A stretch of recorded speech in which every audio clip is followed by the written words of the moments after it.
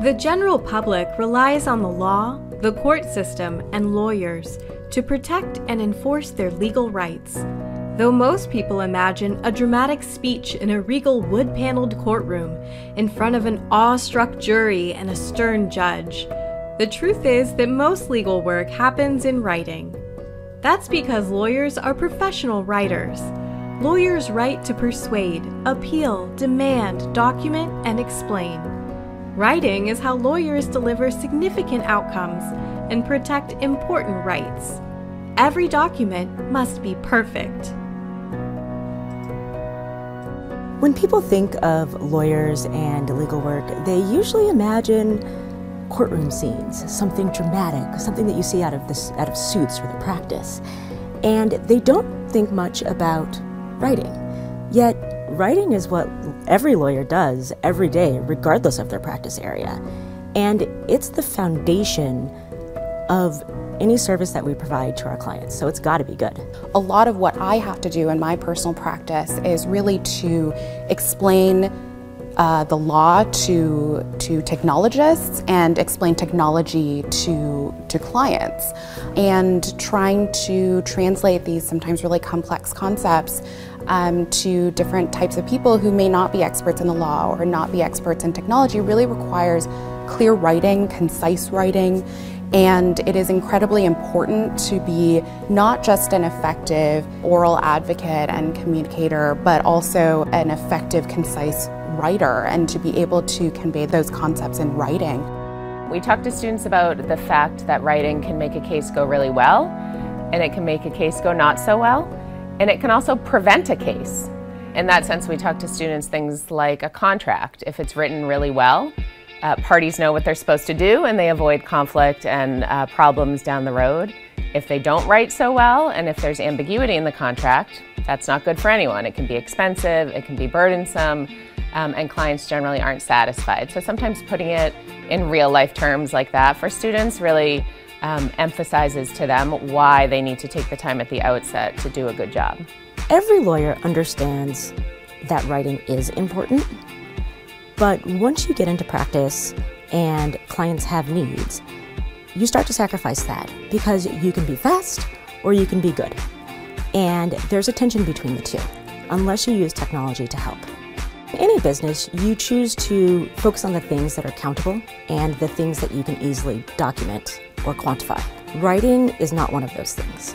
It's hard to tell what is good writing until you get deep into a document. And it's hard to determine how much time you should invest in a document to make it good. And because of that, I think we've drifted away from doing a good job uh, because we've been so focused on things that we can count. General word processing, kind of 101, has always been around for lawyers, and tools are getting more sophisticated, the basic tools lawyers use every day. Um, but writing isn't different than anything else lawyers do. So when you think about remote technology for lawyers or online dispute resolution or being able to attend a court hearing virtually, technology is impacting every aspect of what modern lawyers do. I think there is some hesitancy sometimes to adopt new technology or artificial intelligence in legal practice because an attorney's greatest fear is to be replaced by a computer someday, right? But what I find is that with tools like WordRake and, and other technology that we're using, what it allows us to do is it allows us to lawyer more effectively. So WordRake runs in Microsoft Word. It's an add-in, which means that it harnesses all the functionality of Microsoft Word and then builds on it. So you have the familiarity of this program that's been on your computer all along. And then we add to it using the same framework with the, with the track changes. And it takes only one click to get our editing feedback. Lawyers tend to be wordy because they're afraid of leaving something out. And they believe that wordiness and legalese and even jargon is the precise way to go. It's the safe way to go. But it doesn't need to be that way. With legal writing or any type of writing, with fewer words, you will get to the point and stay focused, and that will actually help your clients understand uh, in, in a way that they could never do before. So I think every lawyer, every law student, every writer, every person ha has their own kind of pros and cons, right, to their own work process and their own writing. We all have our tendencies, we all have our downfalls, we all have our strengths. And what's really interesting is, I don't know if this is just lawyers or, or folks in general, it's very hard for us to see that right, when we're so close to our writing. So a tool like WordRake provides almost kind of an objective eye, if you will, kind of a, a mystery editor that the tool pointing something out is, is just different um, compared to us reading our writing over and over again. We're so attached to it um, and we're so comfortable with it and the lawyer in us is so used to it that it's very hard to see improvement when it comes to clarity and brevity and things like that.